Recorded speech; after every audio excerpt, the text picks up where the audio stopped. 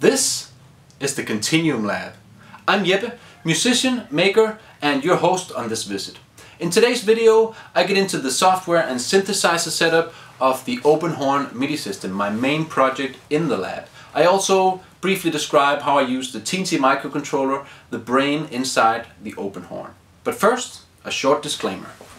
The continuum has no end and no beginning. It represents the sum total of all knowledge, stretching from the unnoticeably small and to the incomprehensibly vast. So the KontinuumLAB is not really a physical space at all. I think of it as a state of mind, like a mental leap of faith from the comfortable platform of the known and into the infinite ignorance, where learning is the only method of propulsion. Welcome to the KontinuumLAB. The OHMS runs on a microcontroller, specifically the Teensy 3.2 made by PJRC. Now there are three main reasons why the Teensy is perfect for this project. First of all, it's fast. It's much, much faster than any of the Arduino boards that I've used in the past.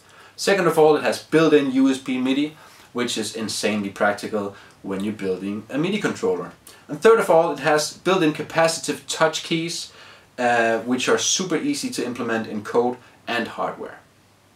Now, even with the multitude of sensors on the open horn, I'm still using only the most easily accessible pins on the microcontroller itself, leaving the solder pads and less accessible pins uh, for future expansions. The micro USB plug on the Teensy microcontroller is not used in the open horn. Instead, a more sturdy USB-B port is connected via four solder pads on the microcontroller and then made accessible at the base of the horn.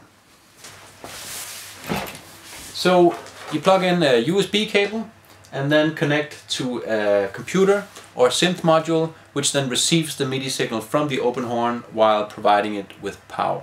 In my case I plug into a, an i5 laptop running Ubuntu 18 plus a selection of open source software that allows me to do pretty much anything I can imagine. So let's get into it. My main go-to software synthesizer is Yoshimi, which is super powerful and works great with the Wind MIDI signal. Next to that I usually run a looper. In this case it's SooperLooper. And if I want to record I will have a digital audio workstation running as well. I like Ardour, which is what I'm recording with right now. To tie all of this together and connect the different channels of the programs, I run Jack, which has an easy to use interface for just this.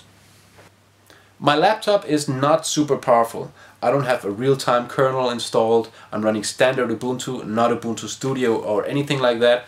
But after some minimal customization, mostly to do with the Linux user groups, everything works just fine. Yoshimi doesn't come with many synths specifically prepared for a Wind MIDI controller, but I was able to easily adapt many synths to respond really well to this type of signal and then customize further. As the open horn has the capacity to play two voices simultaneously, I always have an active synth both on channel 1 and on channel 2. If only one voice is playing, then only channel 1 is sounding. But having the voices on separate channels allows me to also use separate patches, so I can have different instruments on each voice. Channel 3 is reserved for the open horn percussive mode signal and so I always have a drum or percussion patch running on channel 3. Meanwhile, SooperLooper is reading on channel 4 and the open horn has been set up to produce a signal on channel 4 from the side keys and the encoder. So now I can simultaneously play one or two voices and activate the looper while I do so.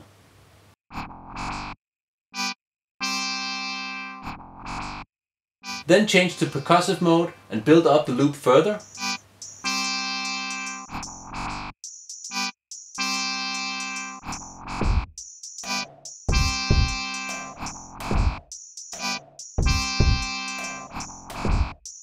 Then back to the horn mode for a solo.